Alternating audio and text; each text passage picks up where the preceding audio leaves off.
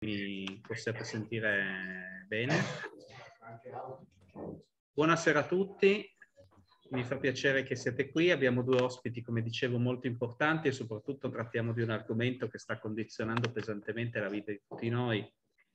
Oggi io ero, insomma, fino a poco fa in università dove ospito una visiting professor che proviene dal Dnipro nell'ambito del programma di collaborazione Science for Ukraine che l'Università di Torino ha eh, sviluppato con l'Ucraina e mi stava raccontando di una situazione veramente tragica e difficile, eh, che veramente è un qualcosa che forse è difficile persino immaginarsi eh, per noi che siamo qui.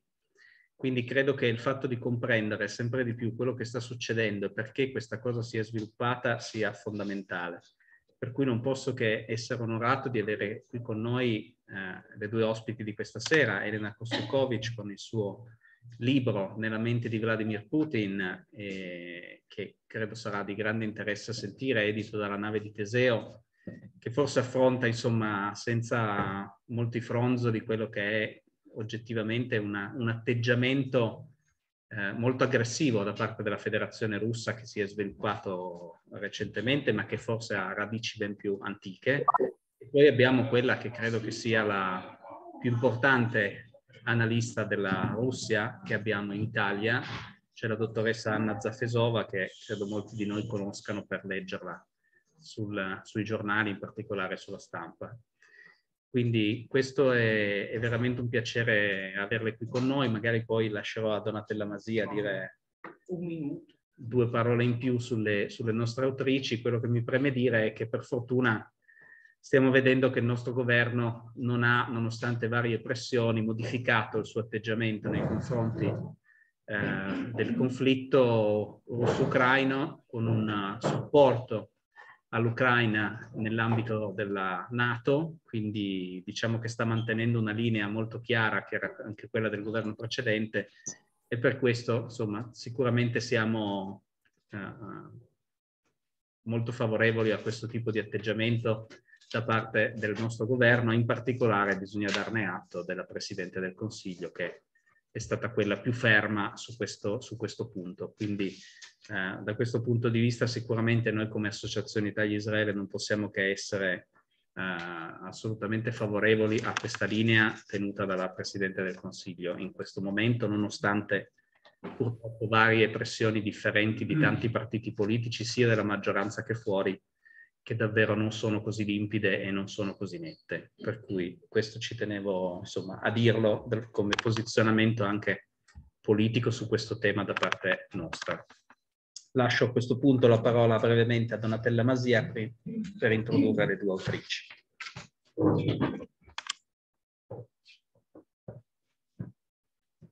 Grazie al nostro Presidente Dario Peirone. Io prendo la parola brevissimamente solo perché il nostro nume tutelare e eh, Deus ex machina Angelo Pezzana è senza voce.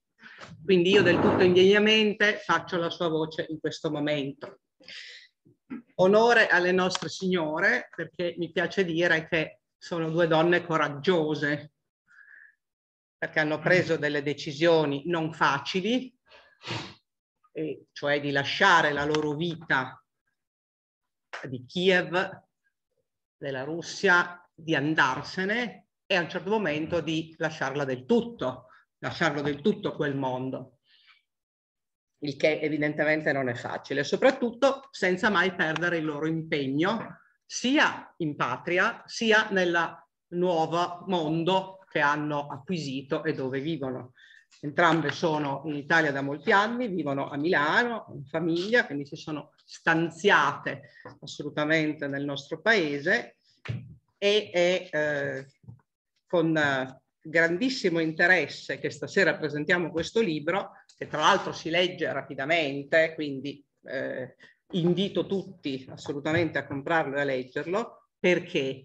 Perché eh, in questo libro sono spiegate delle situazioni che è necessario conoscere per capire l'avversario. noi siamo abituati a ragionare con i nostri metri di valutazione, con i nostri metri di giudizio, con la nostra storia, con le nostre concezioni storico-filosofiche, eh, sociologiche e così via, e non abbiamo la minima idea di quello che frulla non tanto nella mente di Putin oggi, ma di tutto quello che è frullato fino adesso perché Putin si presentasse oggi nel modo in cui si presenta al mondo.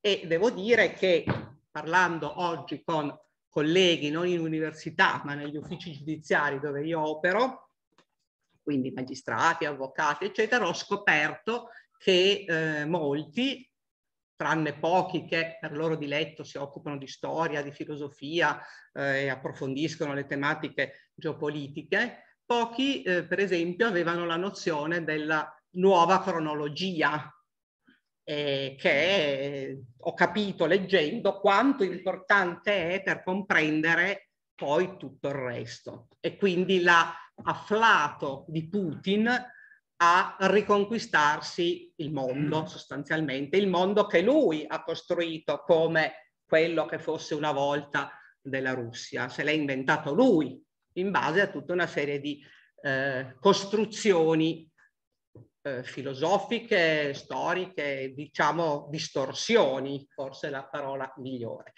Quindi non faccio perdere tempo ulteriore, dico solo che veramente è un incontro fondamentale e vado anche al secondo incontro fondamentale che ricordo e che invito a non perdere, che ci sarà il 14 dicembre, sempre in questa sede, credo alle 18, alle 18.30, non lo so, comunque l'orario sarà da controllare per chi è interessato, spero tutti, con Maurizio Molinari, che presenta il suo ultimo libro, quello sugli imperi, e eh, chiudiamo sostanzialmente l'anno con due incontri importantissimi, questo e quello prossimo che vi ho ricordato, e ci faranno riflettere su quello che è il mondo, come oggi ci si presenta, come probabilmente dovremmo affrontarlo noi e le nostre famiglie, il nostro mondo, nei prossimi, la nostra, il nostro ambito eh, sociale, familiare nei prossimi anni.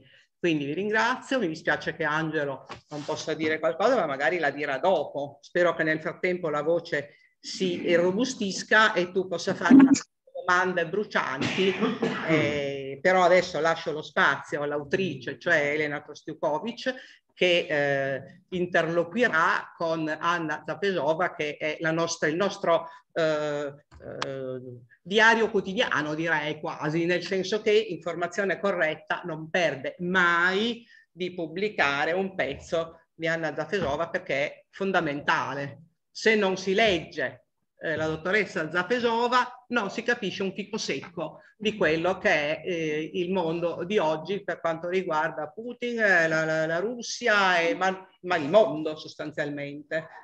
Quindi onore alle signore e eh, le invito a venire qui, a posizionarsi vicine, a parlare eh, una per volta perché siamo in Zoom e quindi le registrazioni devono essere ben distinte. Grazie. Grazie. Vanno bene queste due sedie? Sì, sì, sì, vanno benissimo.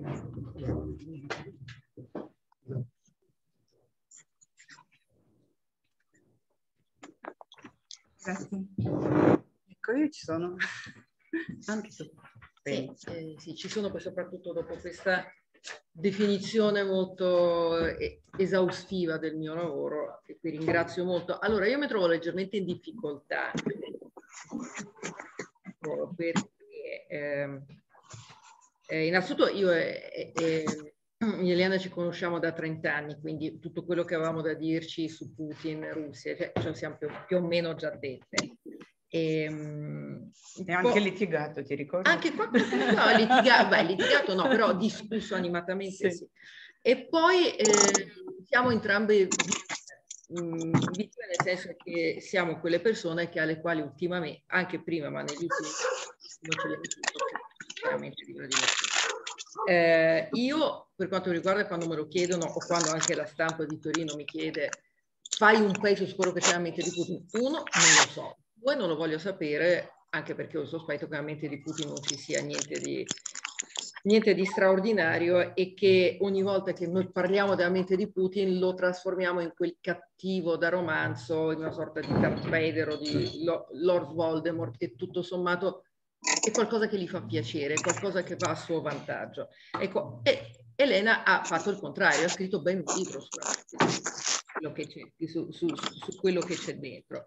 E quindi adesso proviamo a ragionarci insieme, però io vi invito fin da subito a farci delle domande eh, o delle osservazioni, insomma a guidarci un po' in questo, questo percorso perché appunto conoscendoci molto bene e conoscendo purtroppo molto bene l'argomento della famigerata mente di Putin rischiamo un po' di, come dire, di, di, di, o di diventare troppo, troppo noiose per voi oppure, oppure di da, dare per scontato delle cose che invece scontate non sono. Infatti Elena Kostukovic ha scritto un libro proprio per spiegare delle cose che magari al, al, lettore, al lettore italiano, al lettore europeo sfuggono e quindi io inizierei eh, a chiedere a Elena proprio questo, come mai c'è stato questo bisogno di spiegare cosa c'è nella mente di Putin? Non c'è il rischio che a dedicare a Putin, perché se entrate nelle librerie c'è una marea di libri su Putin, eh, alcuni dei quali francamente agiografici, alcuni dei quali scritti da persone che non sanno nemmeno da che parte, da che parte si trova la Russia o l'Ucraina. Eh, quindi è un argomento in qualche modo anche pop. Non gli facciamo un favore se dichiariamo che vogliamo entrare nella sua mente. Hai ragione, naturalmente, più parliamo di questo vampiro, più lui nutre del nostro interesse, nutre, perché ovviamente tutti lo dicono, quelli che lo conoscono, quelli che lo seguono, che è una persona uh, con un grossissimo complesso di inferiorità, di superiorità, allora più presti attenzione a lui e più si gonfia. E però questo è un ragionamento generico psicologico, in realtà eh, rimaniamo su, su livelli, invito, inviterei tutti di rimanere sui livelli culturali e politici, e, quindi prima di eh, entrare nel cuore della faccenda volevo dire due cose che si possono e devono dire solo in questa sala e una cosa che è necessario dire in questa città e un, un po' di cose che sono legate al giorno d'oggi. Quindi voi sarete in questo senso eh, trattati come pubblico esclusivo. Allora, in questa città io voglio dire eh, che miei nonni sarebbero molto contenti di vedermi nell'associazione di amicizia con l'Israele perché anch'io sono stata eh, eh, molte volte in Israele a trovare i miei parenti, a trovare la mia famiglia negli Ad Vashem, eh, nove persone della famiglia sono state fucilate a Kiev, a Babi Yar, e lo stesso posto che voi sicuramente conoscete, immagino, dove è, arrivata, uh, è arrivato un missile di Putin, cioè de, della Federazione Russa, ai primi giorni della, della, della guerra, che è un trauma per qualsiasi persona di, eh, che ha questi ricordi in famiglia di ebraica, di eh, tradizione, non di tradizione, ma di memoria ebraica. E per Zelensky, come a me, non è, penso, stato piacevole vedere questa, diciamo, questa lotta anche contro i simboli. Poi volevo dire un'altra cosa, sempre qua in questa sala, che grazie a Angelo Pezzana che questo libro è pubblicato. No, veramente, adesso la storia dell'apparizione proprio di questo volumetto. All'inizio della guerra io ho subito scritto così di getto un lungo articolo su, sulle letture di Putin, se volete. Formuliamolo così. Cioè, di che cosa lui ha costruito la sua retorica e la sua propaganda. Mi serviva per parlare con i miei figli mi serviva non solo per questo, perché io non sono una Rowling che scrive per i figli e poi tutto diventa... Io sono professionista di, questa, di questo passatempo eh, delle scritture, però mi sembrava giusto scrivere comunque, lasciare detto ciò che io sapevo, perché io mi sono occupata parecchio di varie, vari tipi di fantastoria che esistevano in Russia, perché mi serviva prima della guerra mi serviva perché io, essendo traduttrice dei romanzi di Umberto Eco, un altro omaggio torinese perché lui, l'Università di Torino, insomma, è legato molto questo nome con Torino. Essendo traduttrice di tutti i suoi romanzi in russo, a livello, quando dovevo lavorare con il romanzo Baudolino, che è un romanzo piemontese, quindi maggior ragione, e ho toccato gli argomenti di come nasce la storia scritta da varie favole che sono raccontate magari anche da persone che vogliono mentire, cioè che non vogliono mentire, ma che capiscono che è necessario raccontare bugie per poi formare un mito eh, di fondazione dello Stato, di, di una eh, entità politica, di, di, di una guerra, insomma i miti servono per propaganda. Baudolino è così, lui con Federico Barbarossa gli sta raccontando delle storie che poi lo muovono a fare le guerre più o meno. Io allora, quando ho fatto la traduzione del romanzo Baudolino, ho pubblicato non solo in Russia, ma anche qua eh, in Espresso, giornale Espresso, un lungo articolo sulla, mm, sulla maniera eh, specificamente russa di alcuni accademici, tra virgolette, perché non sono in realtà delle persone che, che, su, che, che meritano rispetto accademico, ma comunque di inventare la pseudostoria e allora poi ho finito, ma ripeto, in italiano e per il giornale Espresso. Hm? E lì dicevo che queste favole eh, in realtà sono pericolose perché hanno del nazionalismo dentro, perché, dico favole russe, paragonandoli con il processo raccontato da Eco, di questa creazione della pseudostoria, che sono fondati sulle bugie enormi e che portano comunque il pubblico a pensare che la Russia me sia meglio degli altri stati e meriti una sorte più, più importante per tutto il mondo. Sono favole pericolose. Questo più o meno era il mio articoletto. Non era articoletto perché è lungo, due o tre pagine intere. E eh beh, eh, non lo so, mi, mi, sembrava, io stavo raccontando tutte queste cavolate con un senso di vergogna perché poi capivo che il pubblico in Italia comincerà a leggere e dirà cosa ci importano queste eh, farneticazioni di chissà quale bugiardo russo che sta raccontando tutto ai russi. Adesso voi vedete a che cosa in realtà ha portato questa storia, perché ha pseudostoria, perché ha contribuito a creare un, non più di uno, tanti circoli di cosiddetti pensatori che sono il fondamento della retorica di Putin e la sua cerchia, che poi alla fine finisce in breve, vero? Cioè, dico più o meno le, le cose che, che, tu sai già, scusami, ma ehm, che finiscono con delle conclusioni. La Russia merita uh, la sorte di uh, il paese più importante del mondo, più grande del mondo, più giusto del mondo, perché la famosa giustizia, tutte le ricerche filosofiche, cioè le cose devono essere giuste, le cose, risponderei io, devono essere basate sulla legge e la giustizia è comunque molto parziale ed è sempre legata a un arbitrio di qualcuno che dice giustizia, non dico giustizia in tribunale, giustizia oggettiva, справедливость. Quindi tutto ciò ha formato una grande eh, confusione nelle teste e infatti nelle teste in Russia. E poi eh, c'erano dei furbi, secondo me, delle persone politicamente molto astute, con genialità politica indubbia, che hanno capito che con questa massa di gente che crede in tutto, il contrario di tutto, che crede che ci sono eh, delle... Mh, mm, delle verità nascoste, il famoso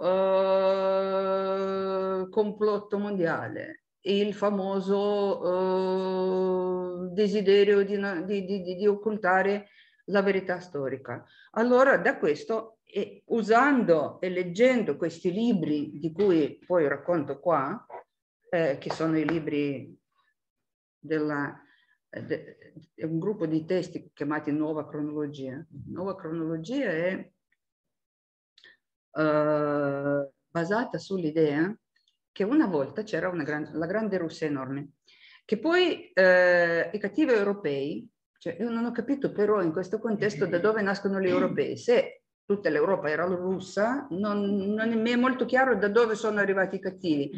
Però i cattivi, italiani d'altronde, e fiamminghi, qui siamo nel, nel 600, 1600, 1600, che d'altronde poi adesso vi dirò, ho scoperto anche perché loro hanno scelto questo momento. Non è ovvio, bisognava pensare un po' per capire, loro non lo dicono, ma io capisco adesso.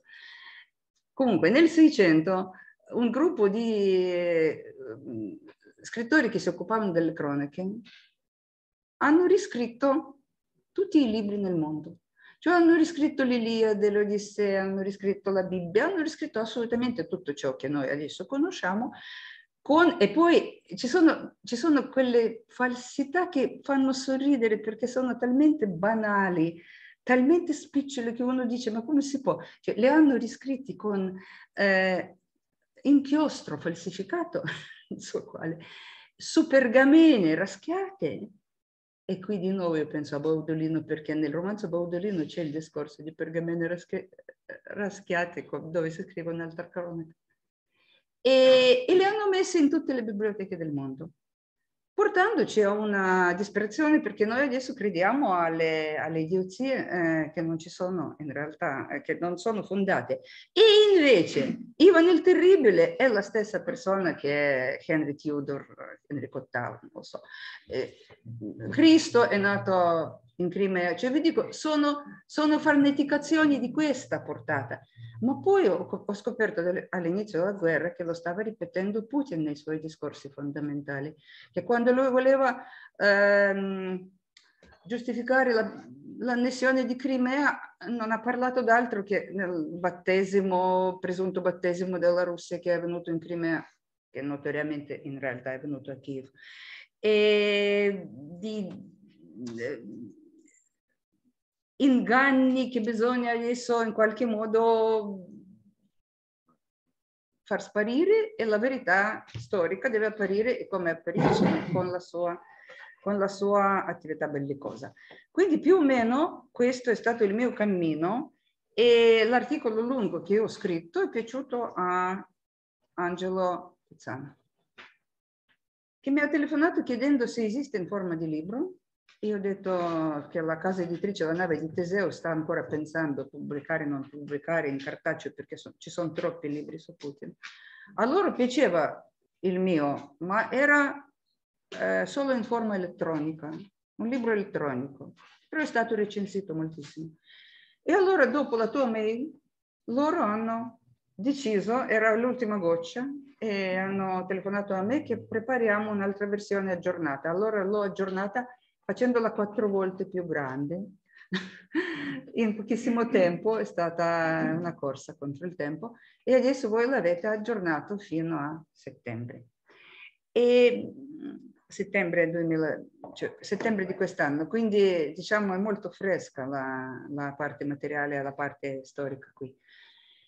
E finalmente, prima di eh, passare di nuovo la parola a Anna, volevo mh, mm, brevemente dir, dirvi che cosa io ho visto oggi nei canali di opposizione naturalmente in lingua russa e in lingua ucraina eh, in internet che mi ha fatto pensare che lo devo dire a voi perché ci sono tante cose che voi non sapete purtroppo. La, la stampa italiana non riesce a seguire tutto. Io per esempio ho sentito tutto il discorso di Zelensky uh, che um, che ha presentato il progetto di fare la successiva Expo nel 2030 a Odessa. Guardate, l'Ucraina è distrutta, voi sapete in che stato è. Non c'è una città con l'elettricità normale.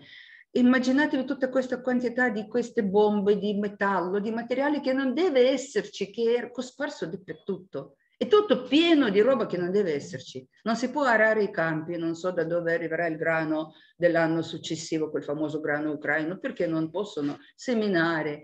Eh, le città sono tutte macerie, quello parla del futuro. Nel 2030 noi faremo questo e quello, eh, verranno moltissimi imprenditori, costruttori da tutto il mondo, nomina proprio i progetti, abbiamo questi progetti e altri. Volevo solo dirvi, così come Zelensky mi fa una enorme impressione di una persona che riesce a convincere il suo pubblico perché parla del futuro in un paese assolutamente ucciso in questo momento, Così quell'altro parla del passato. È per quello che io ho tirato fuori Zelensky adesso in questo discorso, perché questo libro è come Putin sfrutta il passato che c'è stato, non c'è stato, non sappiamo correggere, controllare quelle farneticazioni, queste, queste idiozie che sparano, ma non solo lui, soprattutto la gente che, che gli sta attorno, per giustificare la guerra.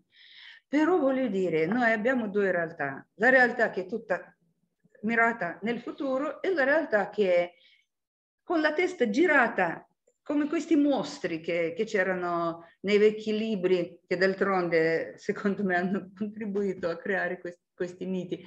Eh, I viaggi degli europei in paesi asiatici, sapete che poi tornavano con tutti i racconti delle persone strane. Lui è questo mostro, con la testa girata al contrario, la sta guardando indietro. E certo che fa molta impressione Zelensky che, fa, che, che, che invece, invece, guarda il futuro. Ecco, eh, quindi diciamo, ah sì, e finalmente per il popolo ucraino è una piccola cosa, ma di nuovo mi ha fatto che contrasto che scrive qualcuno, un, un, questo è un social, eh, noi non sappiamo cosa fare, abbiamo l'elettricità già per 20 ore di seguito, abbiamo già lavato i panni, abbiamo pulito in casa, abbiamo preparato il pranzo, i telefonini sono carichi, ma diteci qualcosa, a chi possiamo dare adesso questa elettricità? Capito? A Kiev. No, no, è pubblicato un pezzo di un anonimo. Allora guardate, tra una cultura basata su cleptocrazia, che è quella russa, dove c'è questa corsa al denaro e al rubare, ma assolutamente in, come dire, indecente, dove l'esercito non può fare la guerra, quello russo, perché non ci sono le scarpe, munizioni e tutto. Ma meno male. E meno male, lo so, ma tu non vedi ci, il contrasto. la cleptocrazia. Sì, la cleptocrazia che ci sta salvando in, questa, in questo conflitto. L'Ucraina sta vincendo perché quelli hanno rubato tutto. Ma voglio dire di nuovo, una cultura che è eh, eh basata su raccogli tutto e ruba, e l'altra che invece dice io ho troppa elettricità, ditemi a chi la posso dare, io ho già lavato il mio bambino. Cioè non so, mi è venuta la pelle d'oca ed è uno che in semplicità totale lo chiede, cioè una persona anonima. Così. Queste sono le notizie di oggi. Ah, eh, Anna Zafiasova, d'altronde, è nome importante della stampa, che anche questo è il giornale di Torino. Quindi, secondo me, abbiamo fatto bene che siamo venuti a Torino e abbiamo eh, adesso eh, eh, cominciato o insomma sviluppato un discorso su questo libro ma anche sull'attualità. Le vostre domande poi saranno molto ben, benvenute, ma di anche tu qualcosa perché se no come... Ma eh, io molto volentieri aspe aspettiamo sempre le vostre domande oppure più che domande potete chiederci se approfondire un argomento, soddisfare una curiosità perché appunto la, gli argomenti sono veramente tantissimi. Eh, no, io mentre ti stavo ascoltando mi è venuto in mente, siccome tu hai ripetuto più volte la parola cultura, anche in un contesto di negativo di cultura della cleptocrazia, della... E, ed è assolutamente corretto parlare di cultura non soltanto nel senso di opera d'arte, ma come cultura relazionale, sociale, umana, eccetera. La cultura è stato un grande eh, argomento di discussione in questi, in questi mesi, sia, eh, eh, sia in Russia che eh, fuori dalla Russia. Cioè molti hanno detto ma com'è possibile che un paese di una cultura così grande come la Russia possa aver esibito una cultura brutale di violenza, saccheggio, invasione, aggressione, bugia, eccetera, eccetera, dove alla cultura intesa come romanzo, come musica, come, come pittura, stata, viene contrapposta una cultura, una cultura dell'essere.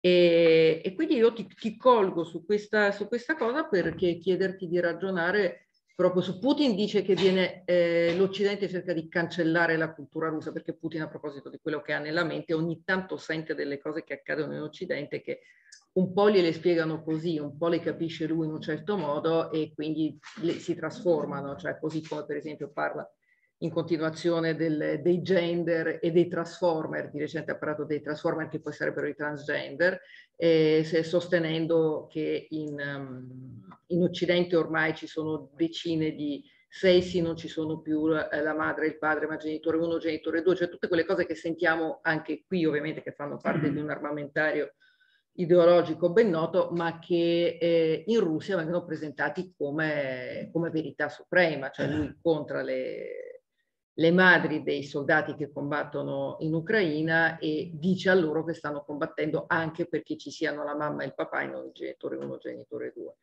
E quindi Putin ha sentito parlare della cancel culture e dice che tutti vogliono cancellare la cultura russa, cosa che non è eh, ovviamente assolutamente vera, però lo stupore resta, cioè la cultura russa, sapete che c'è stata la lettera aperta per esempio sulla polemica sulla prima di, mm-hmm. eh, prima di la scala, alla scala del, del, Boris Godunov che andrà, eh, andrà ovviamente in scena, eh, però eh, la domanda resta, cioè molti si chiedono come mai il paese di Tolstoi e, e Dostoevsky possa aver generato il soldato saccheggiatore assassino di Bucia. È una domanda ovviamente diciamo, un po' pretestuosa perché possiamo fare la stessa domanda su Goethe o su Leonardo da Vinci, cioè eh, non, è, non, è, non, è quello, non, è, quello, il punto, però in effetti eh, quello, quello, su cui ti chiederei un po' di ragionare perché al di là di quello che nella mente di Putin, Vladimir Vladimirovich è nato nel 52 a, a Leningrado, e esiste un Putin... Sì, è maledetto quel giorno.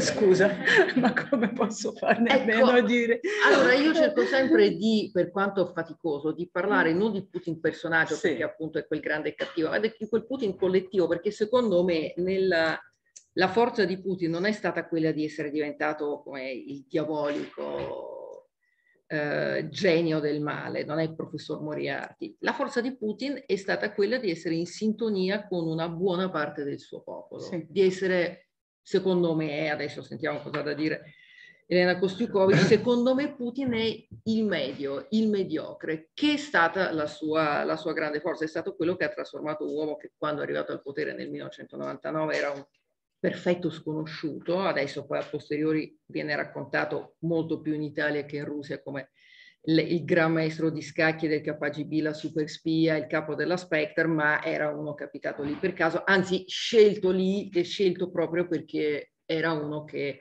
non aveva i particolari idee, il particolare carisma, che poi invece i russi in lui questo carisma l'hanno visto. Secondo me l'hanno visto in buona parte perché appunto si sono riconosciuti, si sono riconosciuti anche in questo mix di da un lato si rendersi conto che il comunismo sovietico era stato un fallimento, dall'altro di sostituire eh, quell'idea di supremazia con un'idea di pseudostoria, di, di, appunto di date di, di, manipolate per far credere che Giulio Cesare fosse russo, anzi era Pietro il Grande, se la memoria non mi inganna.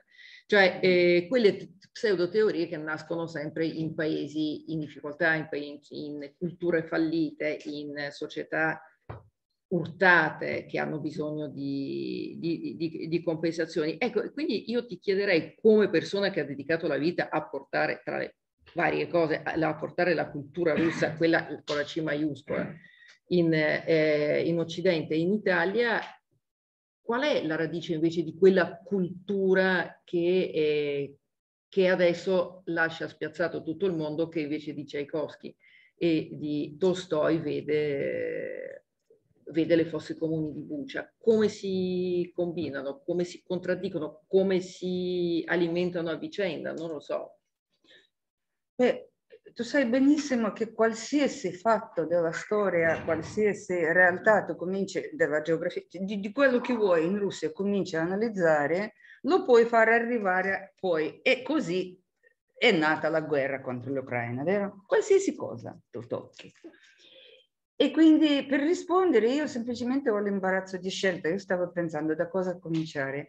E se vi nomino soltanto i fattori, non sono convincente, così come mi rendo conto, ma veramente conviene che voi leggiate questo libro, per esempio. Siamo qui per questo. No, no, no, voglio dire solo che quando vi ho riassunto che cosa è la nuova, non, non ho detto niente sulla nuova cronologia, bisogna capire quanti dettagli, quanti particolari sono, contribuiscono, diciamo, a questa pericolosissima cosa. Solo così eh, diventa chiara la sua importanza.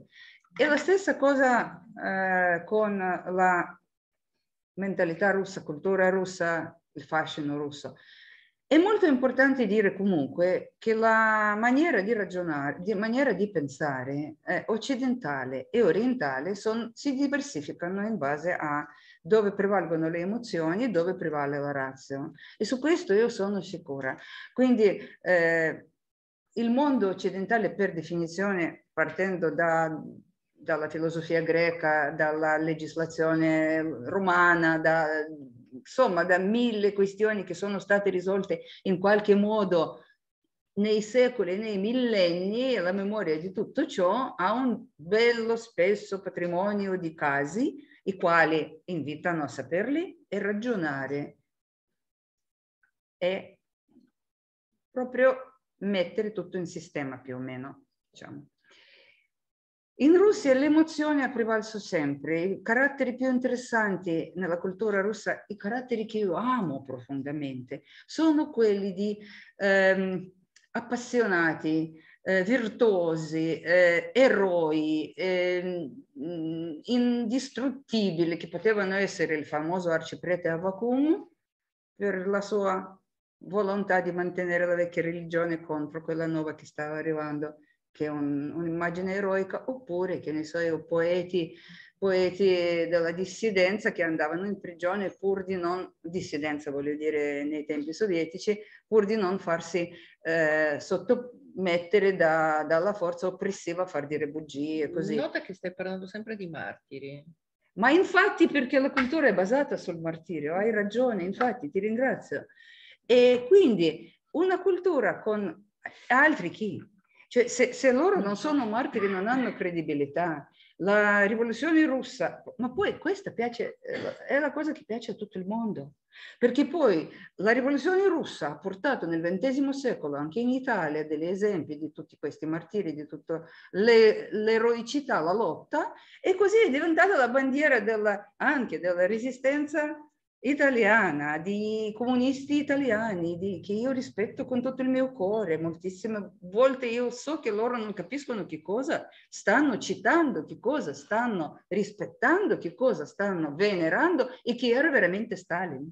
Queste sono le immagini e per la Russia va benissimo, perché la Russia è un paese dove non vogliono spiegare. E questo è molto importante, spiegare no, coinvolgere sì, fare un esempio, ehm, che ne so, fare propaganda. Infatti, guardate, io ho distribuito un po' oggi, è uscito sul Libero, una, una bella recensione sul mio libro e quello di Michel Yelcheninov. Michel Yelcheninov trova, è già l'ennesima volta che lo fa, delle fondamenta del pensiero di Putin che non sono quelle che trovo io. Eh, sono confinanti, non, non litighiamo con Michel Yelcheninov, però sono due cose diverse. E si può raggiungere anche mille altri. Perché? Perché lui non ha nessun pensiero definito. Perché in questa guerra voi avete sentito del piano, forse. No? Se non avete sentito, vi, vi faccio ricordare. All'inizio della guerra è arrivato Macron, è arrivato Scholz, è riarrivato Macron, è ritelefonato Scholz, insomma tutte queste cose si effettuavano per chiedere, amico, ma cosa vuoi fare? E lui continuava a dire, ho un piano, e questo diabolico piano si cercava di capire quale era e lo cerchiamo di capire fino ad oggi, solo che il piano era liberare qualcuno, va bene, non vado avanti perché voi sapete tutte queste idiozie, liberare le ucraine dalle ucraine, i russi dai russi, oppure eh, difendere, cosa difendere? I russi. Cioè, voi sapete che le madri adesso eh, interpellate, quelle che hanno mandato i loro figli, le madri russe, al fronte Ora dicono, ah certo mi dispiace molto che quello è in pericolo, anzi è morto mio figlio, ma per difendere la nostra patria, senza darsi minimamente la, la fatica di cercare di capire ma chi l'ha offesa questa patria? Ma tu vuoi, vuoi difendere contro chi? La Nato, la Nato, siamo qua nel cuore della Nato. Chi di voi voleva andare a fare la guerra contro Putin? E questa è una cosa che tu non fai capire alla, a, al popolo spicciolo, insomma, non so, non voglio offendere, ma posso dire che il popolo è in uno stato in cui si fa coinvolgere, si fa emozionare, ma non si fa convincere, nel senso che non ha bisogno di essere convinto non ha bisogno di ragionamenti, di argomenti, di, fondamenti, di, fondamenta- di, di basare la, la predica, diciamo. Deve essere accesa e basta. E deve essere, chi parla deve essere uno sfruttatore, parlo in Russia, no? Eh, sfruttatore del colossale e enorme mito della Russia offesa, del risentimento, di come non è stato dato qualcosa, varie cose non sono state date. Secondo me sono state date tutte le cose, anche la possibilità di liberarsi eh, dalla, mh, mm, dalla eredità tristissima di molti secoli di schiavitù. È stato dato molto. Io ho parlato con, voi sapete la posizione, lui parla moltissimo, ho parlato molto in pubblico con l'ambasciatore Sergio Romano che mi ha continuato a convincere sempre. E però la Nato l'ha offeso, non le ha dato qualcosa.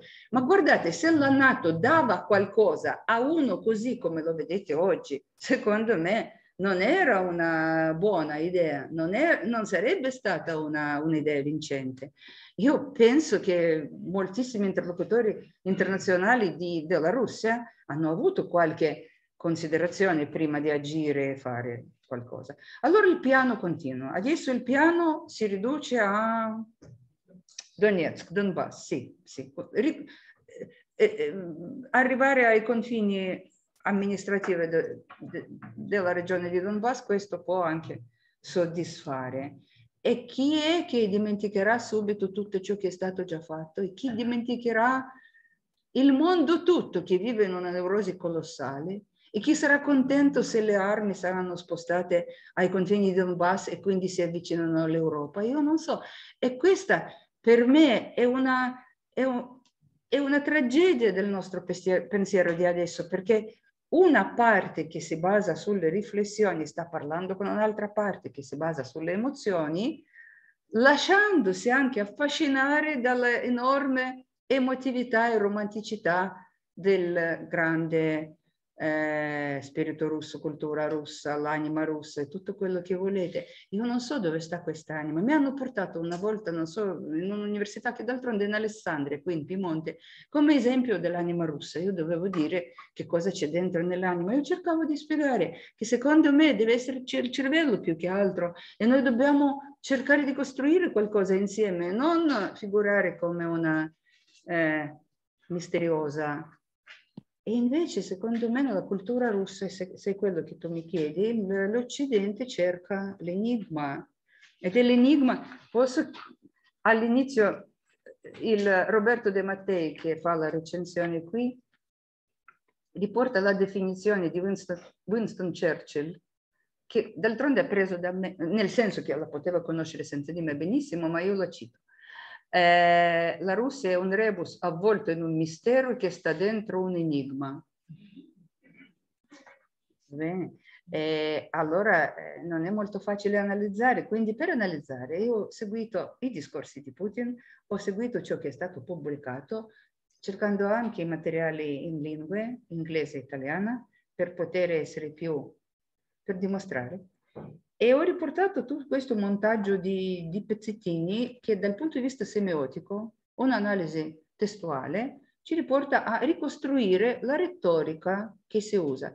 È una retorica basata sull'idea che tutti nel mondo sono imbroglioni, tutti, che non esiste la verità, e qui già mi incavolo moltissimo perché mi sembra un'offesa al genere umano dire così e convincere grandi masse di persone a pensare questo, di essere cinici, di essere sempre sospettosi, di cercare sempre un dietro, eh, retropensiero. Ed è questa che è la grande offesa che si propone al popolo russo per andare poi in guerra.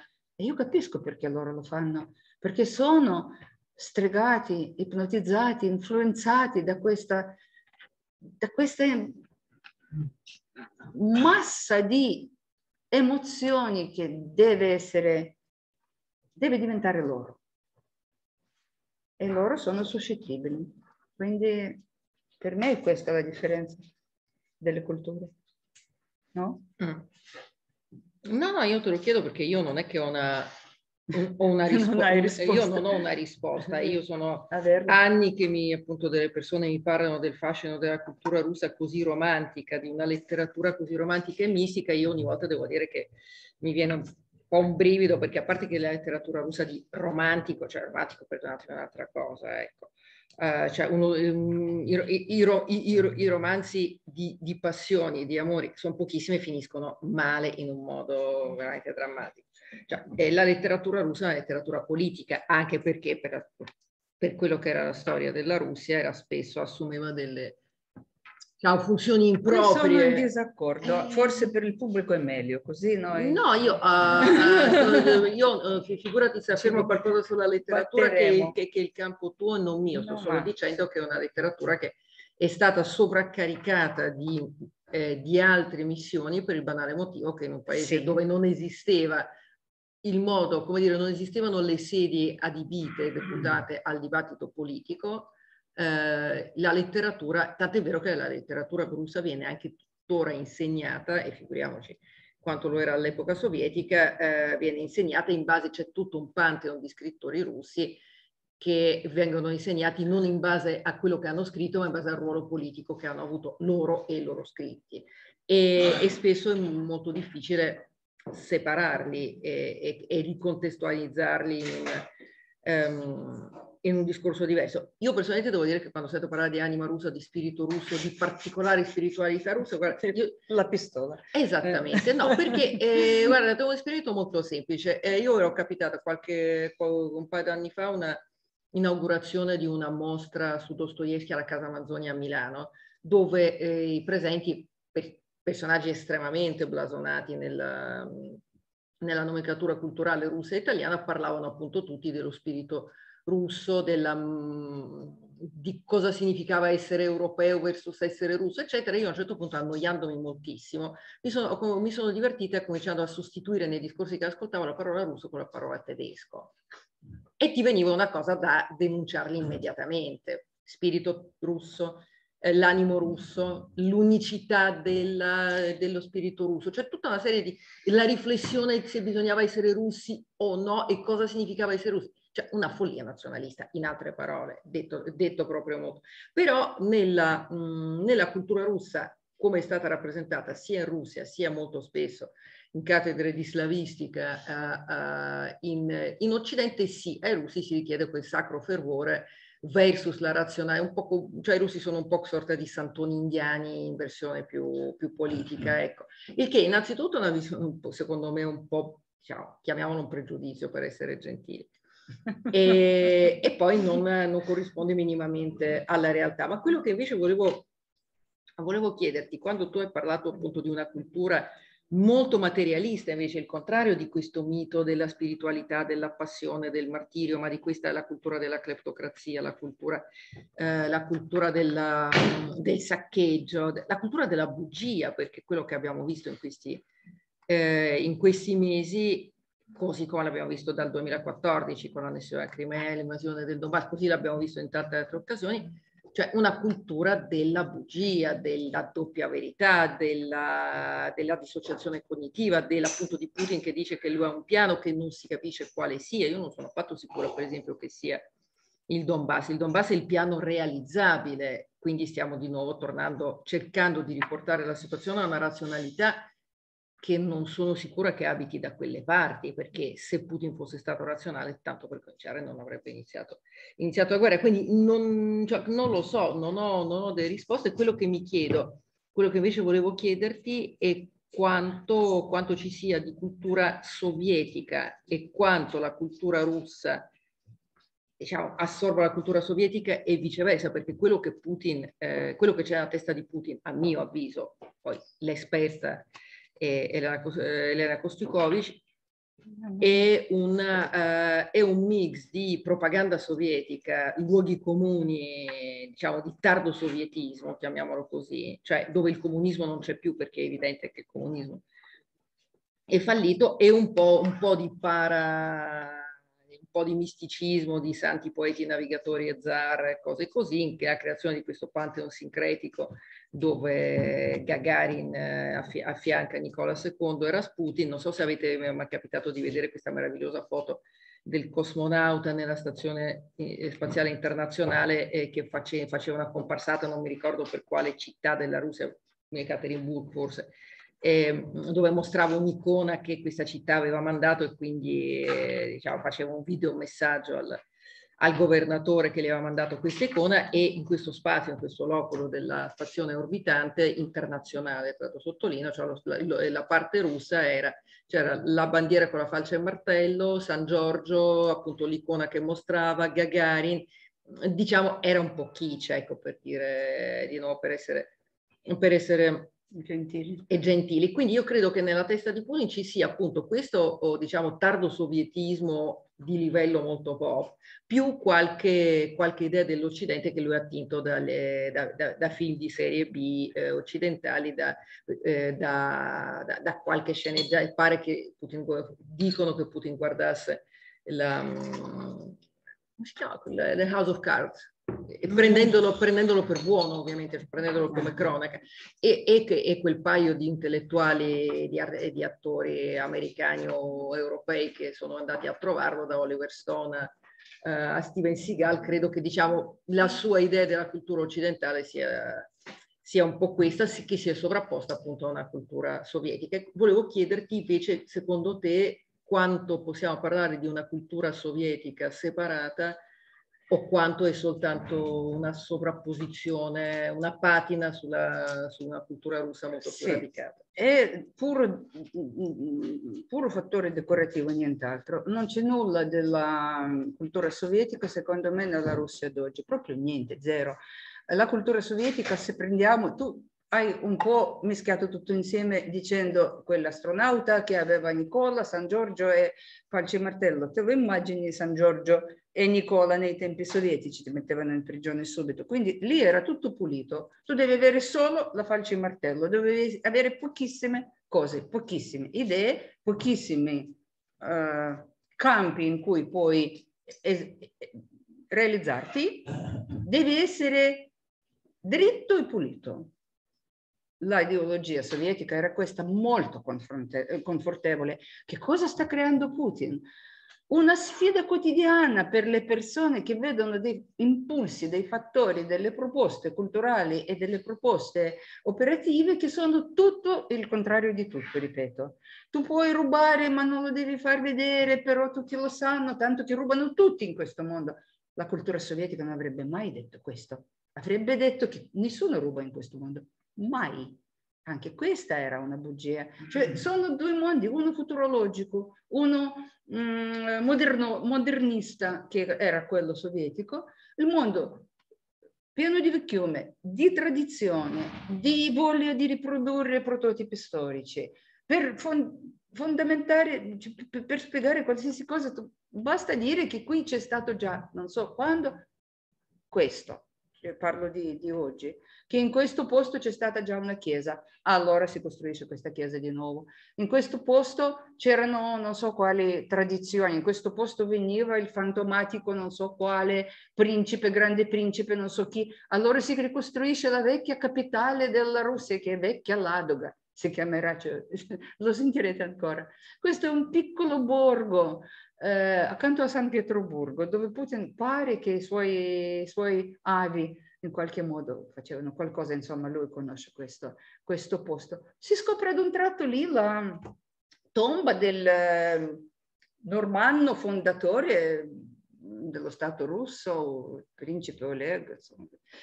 Tutta questa retorica è retorica basata sul passato, ripeto, sulla tradizione, quella sovietica era diversa, me la ricordo molto bene. Io avevo parecchi anni quando è finita l'Unione Sovietica, non so se adesso non si capisce neanche quando è finita, ma comunque quando ero molto Brezhnev, avevo 24 anni, stavo lavorando, ero all'Accademia delle Scienze, al mio posto di lavoro, era molto morto Brezhnev, il mondo era crollato, ma tutto era regolare da morire. L'unica informazione, voi sicuramente sapete qual era per il popolo russo, sovietico, scusatemi, non russo, sovietico, misto di tutte le nazioni, quando era morto Brezhnev, che per tre giorni noi, noi abbiamo visto il uh, balletto Il lago dei cigni. Nessuno diceva che morto, non morto, non c'era internet, non c'era informazioni. Tutti andavano però molto tristi e vestiti già un po' di nero. Perché tre giorni di Lago dei Cigni vuol dire che qualcosa sta succedendo in questo stato. Capito? Era questa la cultura, pochissime cose, molto dritte, tutti erano incapsulati in questi ruoli, in queste famiglie, in queste cose tradizionali. Tutti sapevano dall'inizio della loro vita, anche io, che cosa ci sarebbe stato. Io sapevo che a 22 anni, non 23, 22 prendo la laurea perché alla mia università non si poteva stare fino a 23 anni. Tu entravi a 17 anni e uscivi a 22 anni e non facevi nessun esame che non facevano gli altri, lo stesso giorno con loro. Poi il resto. Eh, certo che poi un po' di fortuna, io sono stata assunta all'Accademia delle Scienze, altri magari a scuola, che era considerato peggio. Però intanto poi fino alla pensione ti arriva donna 55, uomo 60 anni. Dopodiché cosa? Devi morire perché la, la, eh, la durata della vita non era la, molto, molto, no, non lasciava molte speranze, ma comunque più o meno. Ma se non morivi andavi a zappare in Dacia a tenere i nipoti. Nipoti, certo, perché altrimenti dove? Cioè, eh, i, i, i, figli aspettavano questi 55 anni dalla mamma per poter finalmente partorire loro, così avevano la mamma che teneva... Era tutto regolare, guardate, sono due mondi. Quando si dice che lui vuole ricostruire l'Unione Sovietica, io mi chiedo dove lui pensa di poter trovare tutte le leve culturali, ideologiche, politiche per costruire di nuovo questa in realtà ammirabile società che io odiavo e odio con tutta la mia forza dell'animo, però ammirabile perché non c'erano tutti questi, come dire, necessità di dire tutte quelle bugie varie che appunto sono da noi riassunti sia da me che dall'altro uh, scrittore. E invece, uff, figuriamoci. Quindi non credete quando vi dicono che Putin è sovietico, vuole ricostruire l'Unione Sovietica, io questo veramente sono pronta a difendere. Lei voleva fare una domanda, mi scusi, aveva alzato la mano. Ecco. Grazie. Sì. Eh, volevo dire, intanto ho trovato estremamente interessante, illuminante questa eh, sua spiegazione della diversità della mentalità occidentale e russa, russa e identificando nel, nell'Occidente questa componente eh, forte della razionalità che si è sedimentata nella cultura, nel pensiero, nel, nella filosofia, diciamo, ma, ma che probabilmente ha permeato anche la maniera probabilmente di pensare, in contrapposizione al sentimentalismo prevalente probabilmente nella mentalità russa. Ecco, questo credo che sia, per me è stato molto illuminante, adesso io sto seguendo un po' queste vicende con tutta la commozione che tutti abbiamo. Ora, mi, è, mi viene in mente che probabilmente ancora nel periodo forse molto evidente nell'ultimo periodo dell'Unione Sovietica. Ci furono dei personaggi che, eh, diciamo, possiamo caratterizzarli con una componente di razionalismo molto importante, diciamo, mi viene in mente, vabbè, Sakharov, anche Signaschi, non mi metterei in contrapposizione magari ad altri, sempre nell'Unione Sovietica, che Lushenko e poi diciamo il grande scrittore ehm, che ha fatto cosa? Eh, eh, Solzhenitsyn, sì. Ecco, questi qui invece molto ancora caratterizzati dallo spirito mm-hmm. russo, sentimentalismo e, e probabilmente passionalità. No? Ora, però, quello che mi viene da dire è che oggi questi personaggi di, diciamo che, su cui si si poteva o, o, si poteva sperare di contare, diciamo, che portavano avanti un, uno spirito, diciamo, razionale. Intanto nell'ultimo periodo dell'Unione Sovietica sono stati esiliati quasi tutti, no? Questi qua.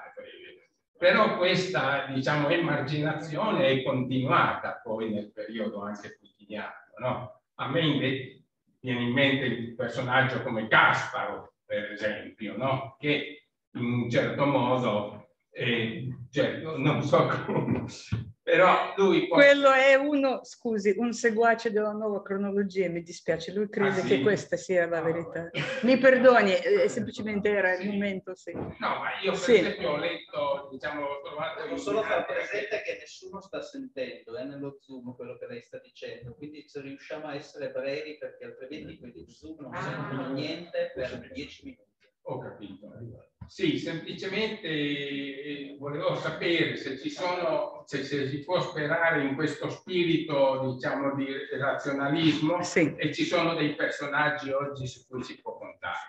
Sì, eh, la domanda è per lo Zoom, se ci sono delle persone su cui si può contare che portano lo spirito di razionalismo all'interno della, eh, della magma emotiva che adesso sta bollendo in Russia in questo periodo. Gli esempi sarebbero di questo approccio più razionale, quello che ha detto eh, il collega, eh, erano eh, l'accademico accademico Sakharov, poi eh, Sieniavsky, Solzhenitsyn, eh, dico questi nomi per chi, per chi conosce la storia de, della Russia e della... Um, e cosa, chi altro è stato nominato? Kasparov e basta. Ok. Allora sono tutti assolutamente diversi e non credo che almeno uno di loro, forse Solzhenitsyn, può essere considerato portatore del, del pensiero sistema, sistematico, sistemico. sistemico pensiero sistemico. Che sarebbe? Lui veramente ha in, in, creato delle schede in cui lui ha distribuito il materiale che ha trovato nei racconti dei testimoni e dei sopravvissuti dei lager del Gulag e poi ha raccontato con l'ordine cronologico e diciamo ideologico quello che lui voleva raccontare. Qui io accetto la definizione del pensiero sistemico. Se noi prendiamo l'accademico Sakharov, più assurdo, cioè lui è delizioso, è una persona assolutamente un, un esempio appunto del martirio sentimentale in un certo senso, ma non, non credo razionale perché è uno che ha inventato la bomba atomica, dopodiché ha deciso che ha fatto, aveva fatto una cosa brutta e poi lui impersonò comunque questo uh, pentimento. In un certo senso è un, un grande esempio di uno che si è pentito. Io qui non vedo l'approccio sistemico. Kasparov, il um, campione del mondo degli scacchi, è talmente esotico che riesce addirittura a sostenere la nuova cronologia, cioè quella stessa panzana che vi ho raccontato, che dice che Giulio Cesare e Ivan il Terribile sono la stessa persona e dice che c'è di verità in tutto ciò. La figura di Signavsky mi è più cara di tutti perché lui era amico della nostra famiglia, è una persona che io non ho conosciuto direttamente perché ha emigrato, però guardate, è uno che lottava, diciamo, lottava sicuramente contro la contro le stupidità sovietiche, direi, contro questo sistema rigido che vi ho raccontato, nei suoi punti dove c'è l'assurdità, nei punti dove c'è... Però in, in, quale modo? Creando dei romanzi, mm, eh, come dire questo? Insomma, di, di umorismo, di... Eh, есть такое слово, его ни на одном языке не помню. Va bene, lasciamo stare. La... Surreale? Più o meno, sì, surre- grazie. Surrealismo, umorismo, eh, motivi che bisogna decifrare, quindi la sua lotta era emotiva come si aspettava di, come il sentimento che si aspettava di creare nel pubblico, cioè di disamore verso il sistema sovietico. Ma non c'era nessuna proposta di cosa si potesse costruire, nessuna critica di quali sono gli elementi che non vanno bene. E mi dispiace dirlo, ma la maggior parte degli scrittori sovietici di dissidio, di dissidenza, dissenso, dissenso, lavoravano in questa stessa maniera. Cioè loro portavano tutto all'estremo grottesco, quello che ah, volevo dire. Portavano tutta la, eh, eh, la realtà eh, raccontata al grottesco Ed è per quello che ci piace, che ne so, da un lato quello piace, non so, il raffetto, ma qualsiasi persona che io ho, ho letto, conosciuto, insomma, con cui ho lavorato, perché ho portato veramente molti autori russi eh, nelle case editrici italiane, c'era sempre il grottesco e poi dipendeva dal, dal punto di vista della casa editrice italiana se lei voleva l'ennesimo grottesco russo o se preferiva qualcos'altro. E questo qualcos'altro, sapete quanto è difficile trovare? Un testo russo che non è un'anti-utopia, un grottesco, una satira, insomma, che lineare, è quello che tu dicevi che i romanzi sentimentali secondo te sono, sono pochi, finiscono male, perché anche loro sempre hanno questo lato un po' pazzoide che alla fine esce fuori e Nastasia Filippovna butta i soldi nel fuoco e non si capisce perché e, e, questo crea un fascino incredibile perché è una cosa che altre letterature non conoscono. Come facciamo con il, il non abbiamo microfono niente, vero? Allora faccio la domanda, la ripetiamo. Io sono velocissima. Mm -hmm. Volevo sapere, oggi come oggi, che la situazione è questa, con questa teoria. I giovani che seguono un po' internet, eccetera, riescono a immedesimarsi e a cambiare o no? Grazie. Ti prego, fai sia la domanda che la risposta.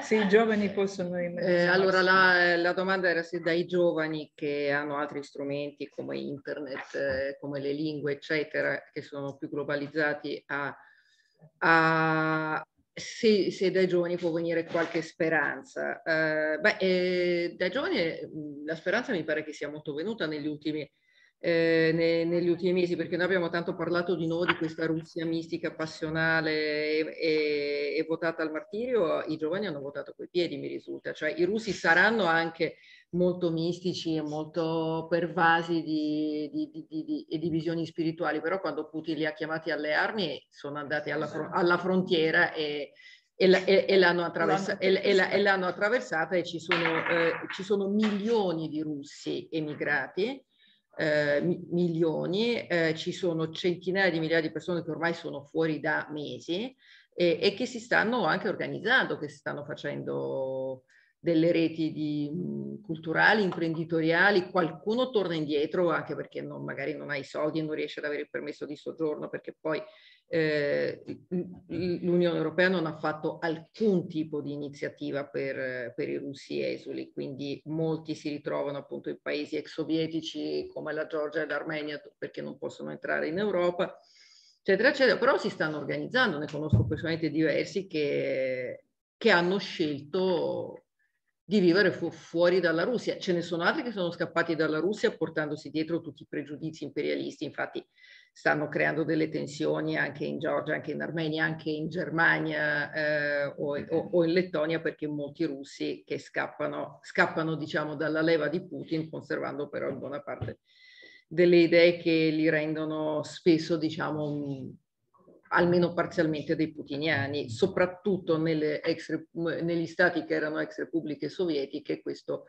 eh, residuo di colonialismo imperialista viene eh, accolto molto, giustamente molto male. E questo è uno dei dibattiti che sono in corso tra, eh, in questa generazione di giovani intellettuali sia esuli che non ancora sulla decolonizzazione, sulla deimperializzazione, sull'accettazione eh, dei valori occidentali, quali valori occidentali, perché poi molti di loro hanno dell'Occidente delle idee già molto più chiare perché sono cresciuti comunque in un autoritarismo, però anche in una cultura, soprattutto nelle grandi città, una cultura globalizzata, con gli stessi film, gli stessi libri, gli stessi programmi universitari, che adesso stanno cambiando che adesso stanno rapidamente cambiando. Infatti, secondo me, una delle chiavi di lettura di questa, eh, di questa guerra è anche la guerra di Putin contro il proprio popolo, cioè sicuramente una chiave generazionale dove una uh, classe dirigente che è invecchiata insieme al suo elettorato e che oggi ha, eh, Putin ha compiuto 70 anni. Uh, un mese fa uh, l'età media dei dirigenti russi esistono delle, de, dei centri di ricerca che misurano anche queste cose eh, stanno, eh, è aumentata tantissimo e sta raggiungendo del, eh, dei livelli da epoca brezhneviana, credo che stiamo parlando di un'età media di 55-56 anni, e quindi non c'è ricambio, quindi i giovani si sentono anche molto esclusi, esclusi dagli ascensori sociali, esclusi, esclu esclusi dalle, eh, eh, dalle, prospettive sono comunque in buona parte delle persone che hanno già assorbito dei valori diversi. Se guardiamo perfino i sondaggi che si svolgono in Russia e che si svolgono da istituti demoscopici vicini al governo, cioè potete immaginare cosa significa, qual, qual è la veridicità di un eh, sondaggio d'opinioni in un paese dove è vietato dire la parola guerra, eh, però perfino in questi sondaggi noi vediamo come l'appoggio alla guerra, l'appoggio a Putin eh, cala con l'età e raggiunge eh, il minimo nella fascia 18-24. Quindi sicuramente, sicuramente il problema dei giovani è quanto riesco, cioè diciamo alla lunga i giovani vincono sempre, no? È ovvio.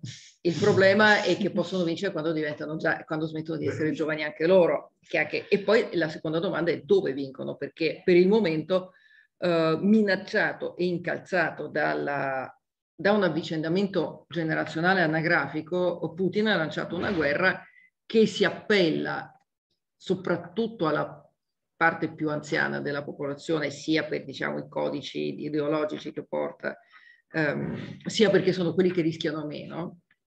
Infatti vediamo dagli stessi sondaggi come nei 55, come gli over 55 il sostegno alla guerra diventa maggioritario e negli over 65 c'è un entusiasmo per la guerra perché c'è tutta la sindrome post-imperiale, tutto le...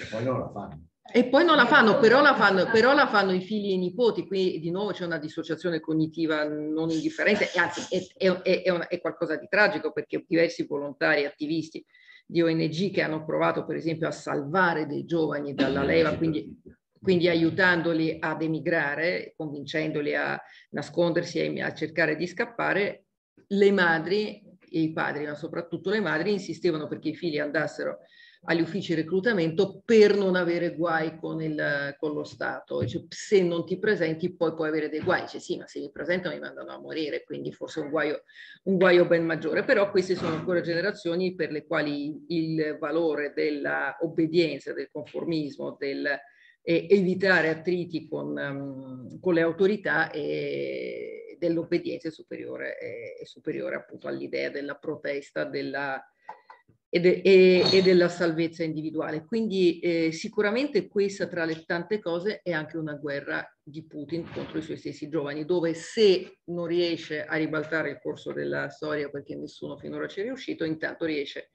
a mandare una generazione di quelli che lo volevano far fuori e come si è visto anche negli anni precedenti alla guerra, anche nelle proteste guidate da Alexei Navalny e da altri personaggi del, del dissenso, della nuova generazione del dissenso, quindi le, alla fine un, come dire, un tutto, tutto riguadagnato perché eh, se questa generazione non viene uccisa in trincea in Ucraina, se scappa e quindi in un modo o in un altro Putin crede di potersi comprare un altro anno, due, tre, non so quanto, di... considerato che in Russia c'è una piramide demografica molto simile a quella, a quella europea, cioè i giovani sono meno del, degli anziani perché si fanno meno figli, quindi i giovani sono portatori sicuramente di un discorso diverso di cambiamento, eccetera, ma sono quantitativamente meno, meno del, degli anziani e in più vanno a votare meno, che è poi lo stesso fenomeno che vediamo eh, che, che, vediamo qua. Adesso vediamo, potrebbe, dipende molto da come andrà a finire, da come, da come finirà il regime di Putin.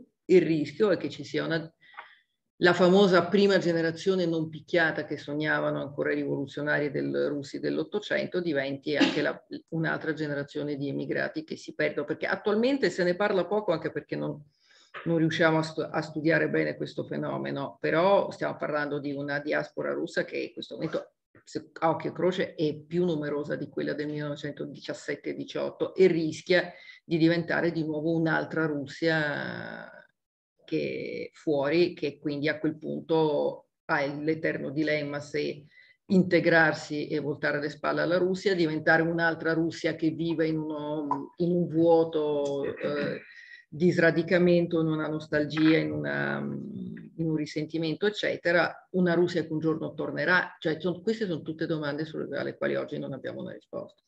Ma se mi permetti, qui io sono in disaccordo solo con questo.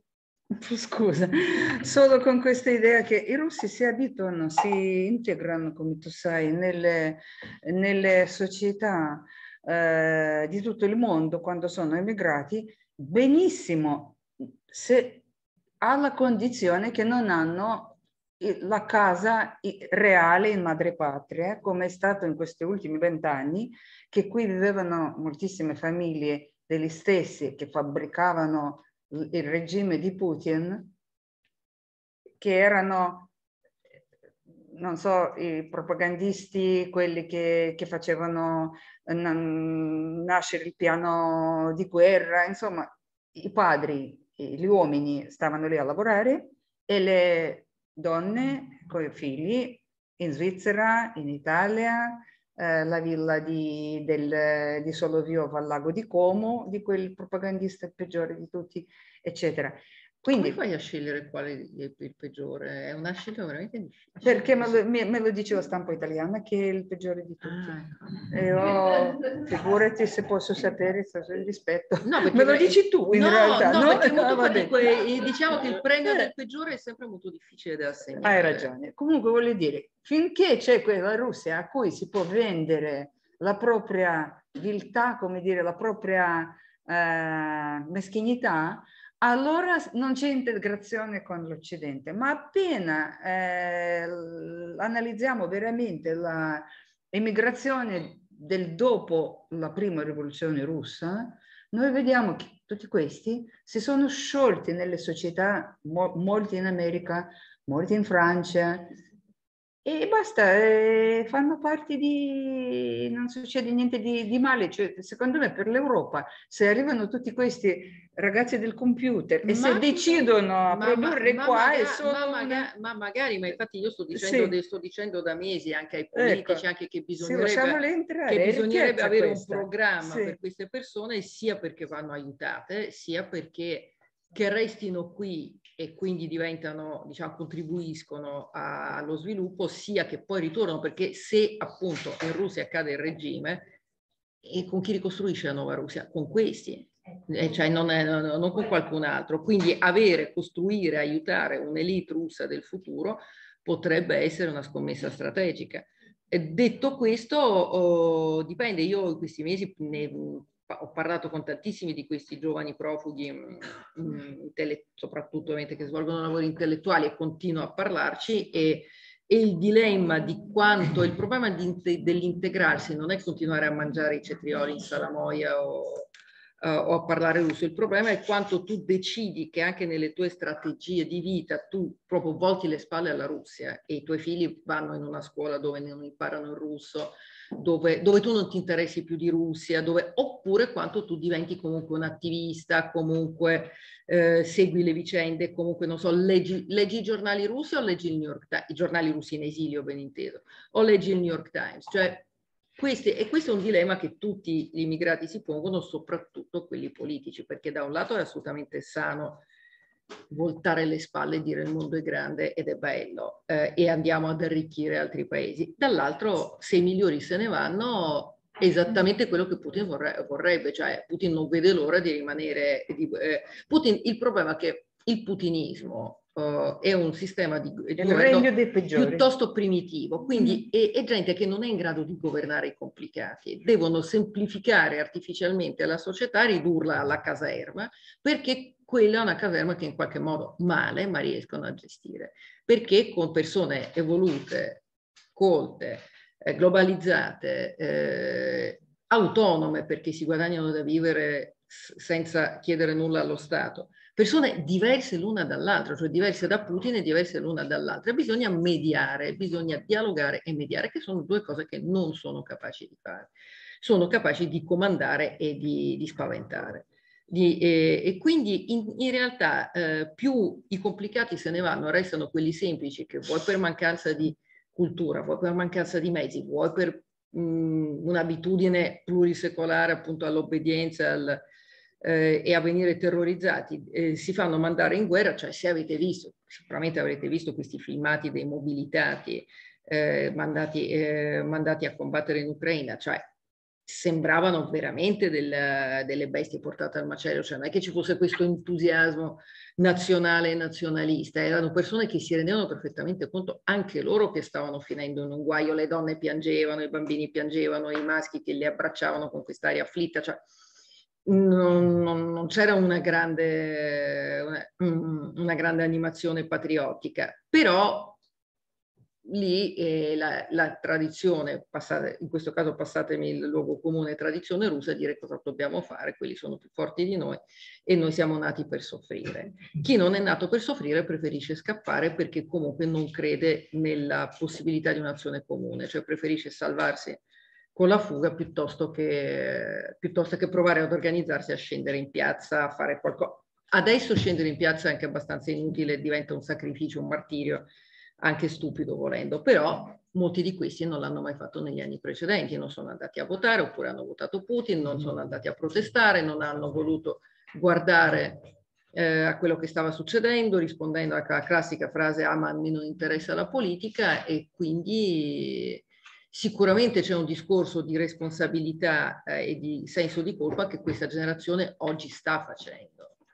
Vediamo cosa ne esce fuori, quale sarà la conclusione. Dipenderà ovviamente anche dai tempi, dai tempi della nuova immigrazione, dipenderà da quando potranno tornare, quanto vorranno tornare, perché più se ne vanno, più si sistemano, trovano lavori, appunto mandano i figli a scuola, eccetera, meno torneranno.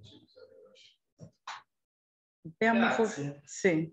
Eh, una sola frase, la, la, frase di Anna che ha detto quelli che non vogliono soffrire, cioè, come hai detto, o, o soffrire, scappare, insomma, volevo solo agganciare a questo l'annuncio che tu sei autrice di un libro eh, che è molto bello e che invito tutti voi a consultare e comprare, insomma, interessarvi. È un libro su Navalny che è una delle pochissime persone che è andata in direzione opposta piuttosto che scappare, tornato, si è fatto mettere in prigione, un altro martirio e quindi sì, le emozioni di nuovo sono molto forti sicuramente in tutti quelli che lo vogliono sostenere, vogliono semplicemente pensare a lui, perché è l'unica cosa che possiamo fare adesso. E hanno analizzato tutta questa situazione e dove nascono le persone come Navalny. E quindi volevo pubblicitare il suo libro. Grazie. Prego.